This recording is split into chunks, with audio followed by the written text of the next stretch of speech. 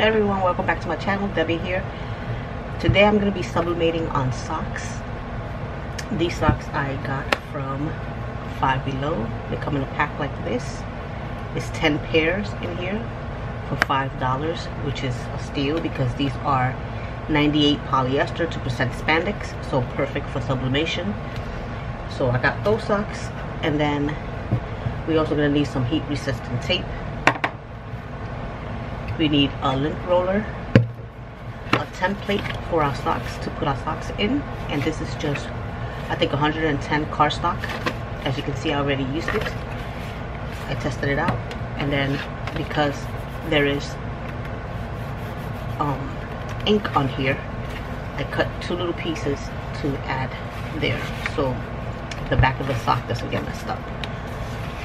And you're also going to need some butcher paper, which I have here and this is from a giant roll that I purchased on Amazon.com. I also purchased the heat resistant tape on Amazon.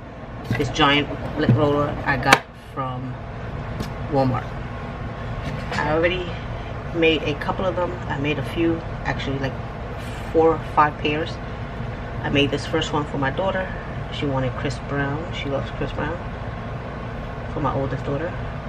And it's just the same image and then the same thing here with um, Bad Bunny. And these are made for my other daughter because she loves Bad Bunny. They both love Bad Bunny but and these are two different photos. So you can see his mouth is open on this one and not on that one. So I made those and I didn't do anything on the back. You can actually do the same exact photo on the back. And I'm thinking I'm gonna do that with this pair. I want to sublimate on both sides of the sock. Let me just show you. you put your hands in. That's what it looks like. And then the back looks pretty plain, so I don't know. You'll see. Those are the socks I made. I, my favorite are the Chris Brown. They came out perfect for pink. I guess the image was perfect for sublimation. The colors on it, I guess. The colors are really vibrant. Anyway, let's get started with the um, tutorial part of this video and I'm going to take you over to my computer and show you how I get my image ready for printing and then sublimating. So here I am. I'm going to open up my Google Chrome and I want to use Canva to create my image for my socks. So I go straight into Canva. I don't have the um, monthly one that you pay monthly. I just have the free version which works really great. And then once you're in here, you're going to go to create a new design, create a design. So I'm to click on that and I'm to say custom size. So for the socks, I played around with it and so I have a set um, size, but I want to go here and change it to inches. So make sure you, that is on inches and I believe the size was, if I'm not mistaken, 7 inches by 11. And then I'm just going to click Create New Design, and it's going to open up a new window. And here is your space for adding the photos. Now to add a photo, you go to Uploads here on the left hand side, Upload, and then you're going to click on Upload Media and then you're going to go to device.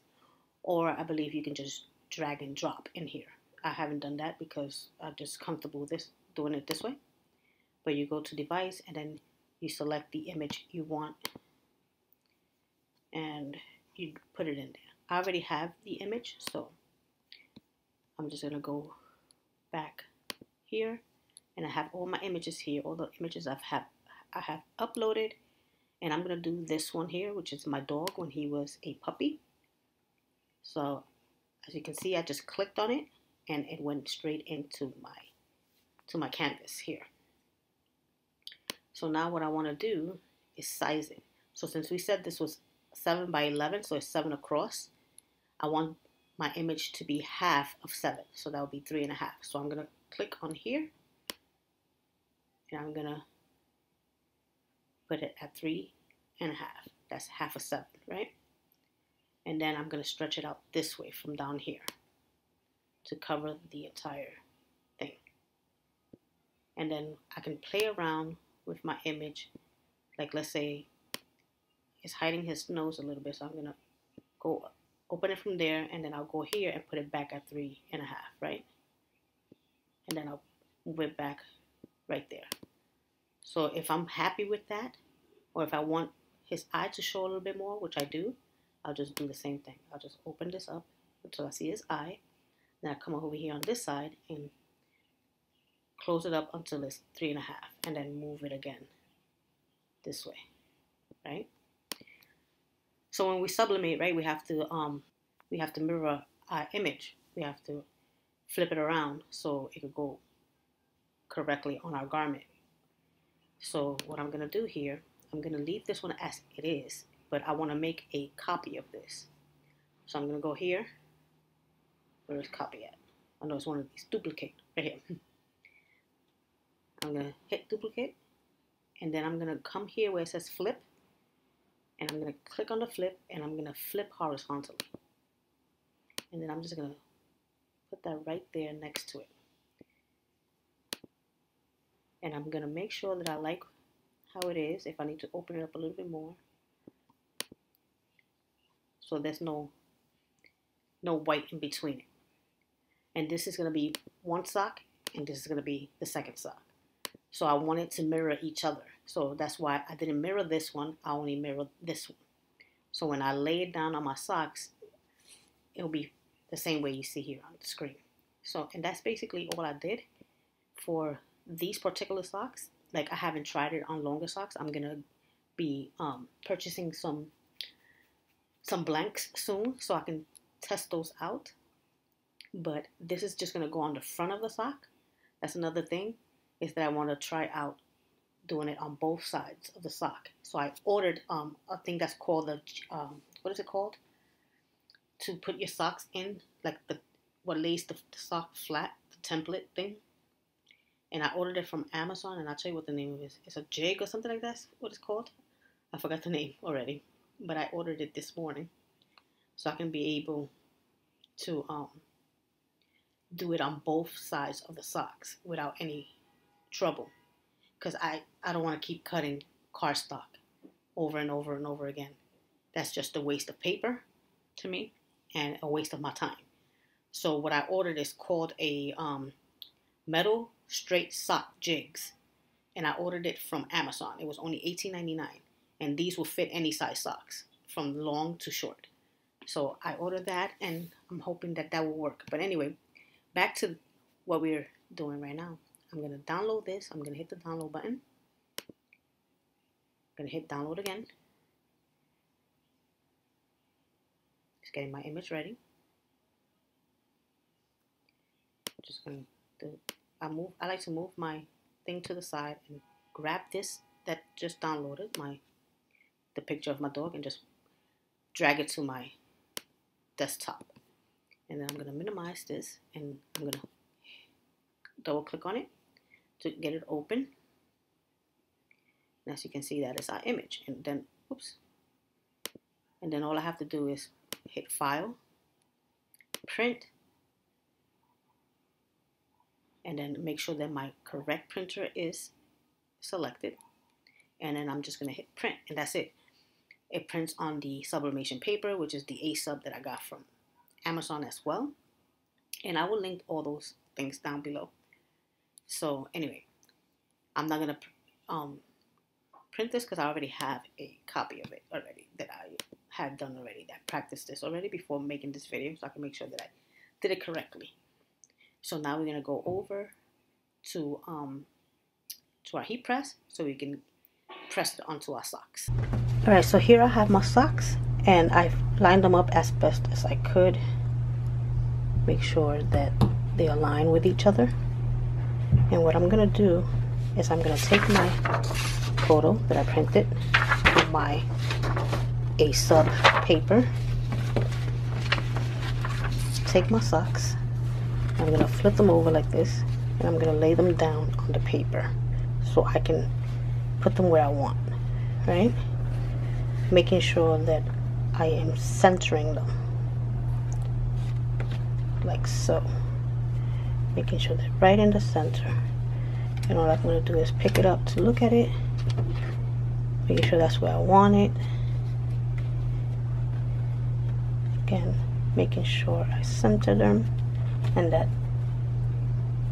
they're fully in the picture. I'm going to take my tape and put one here in the middle. Put one over here on the side. And another one over here on this side. And again I'm going to check them to make sure that I how I want them. I'm going to take this tape off. I'm going to slide this over a little bit more To tape it up again I think that's good again checking it and what I'm going to do is I'm to take this I'm gonna flip it over like this and I'll put it on my heat press. I hope you can see that. Put it over here like that. So I lay it down there. I'm gonna take one. As you can see, I have a piece of parchment, not parchment. This is butcher. You could use parchment as well.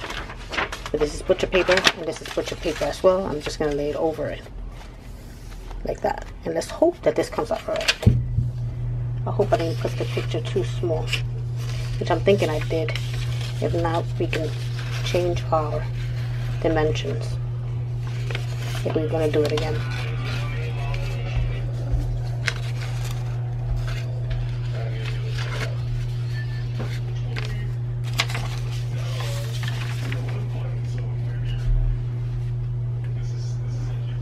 and then we're gonna press. 385 for 60 seconds. Okay. Lift it up slowly. I'm gonna take this paper off. It's very hot so you gotta be careful. As you can see the transfer is on there. And then I'm gonna slide this down so I can see what I'm doing and I have here some tweezers because it's hot. I'm gonna try my best to lift this. And yeah I needed to make the picture wider so it can cover the whole sock because it didn't. But let me just show you. It did pretty well transferring the ink. But as you can see I have white here on the side and I don't want that. But it covered fully up here for the most part it left a little bit of white down here. Then this one a lot of white on the side. So I'm gonna make my picture wider and I'm gonna try again. But they're pretty cute. Let me just show you this way. Take the tape off. But that's how they, they look. I love them but I'm gonna do it again. And I'm gonna make my picture. Remember we did a 7 by 11 so I'm gonna do maybe uh, 7 and a quarter by 11 will be good? So I'm gonna try that. Alright so I reprinted my image. It's 7 and a quarter by 11 and this should be bigger and my socks um, on my little cardstock here. Flip them over and find my middle again. Making sure that I cover the whole sock. I'm trying to lift this up so it can be even on both sides. I don't think you can see that. Alright here we go. Making sure that this is my middle the middle of the dog about right and I'm covering everything this time. Take my tape.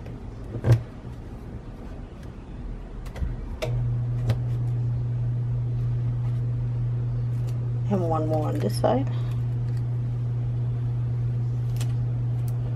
The reason why I do it like this is because I want to see what I'm doing. Because if I lay the socks down and then put the picture over it or the paper over it, I can't see it. So like this I can see what I'm doing now. I can check it here double check without burning myself. Making sure the stock is all the way up. Seems like it is. I'm gonna use this paper here. Put it on top and then we're gonna press it again for 60 seconds. 385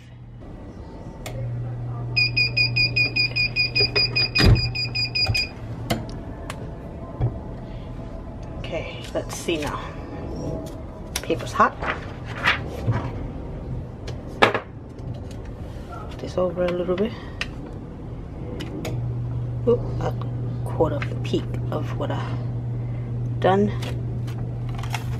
There you go.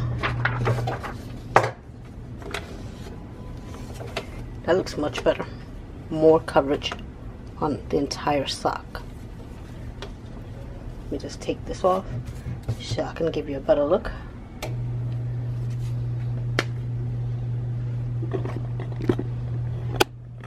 Here they are. I think that came out so much better than the first pair. If I can bring them over here. My son already tried them on. So as you can see see all that white there on the side? You don't want that. So you have to play with the sizing of your paper. Some people do a, the the image on eight and a half by 11 and they just work it out that way. But I like doing it this way because I want more of the image on the sock and not you know the background stuff. So that's why I, I sized it the way I did. But I'm glad that um I was able to show you compare the difference. Like I said the next time I make a video on socks it will be on longer socks and using the, the, the jigs. So and then also doing the front and back of the sock. Anyway guys I will link down everything I used in this video. The socks is the only thing I didn't get at Amazon.com I got it I got them from Five Below and they were like 10 pairs for five bucks. So if you run into a Five Below they have 98 I think it's 98% polyester 2% spandex what their socks are. So anyway I hope you like this tutorial. If you did please give it a thumbs up. Don't forget to hit that subscribe button if you haven't already and hit the bell to be notified when I do upload again and that will be really really really soon. Thanks a lot for watching guys. Bye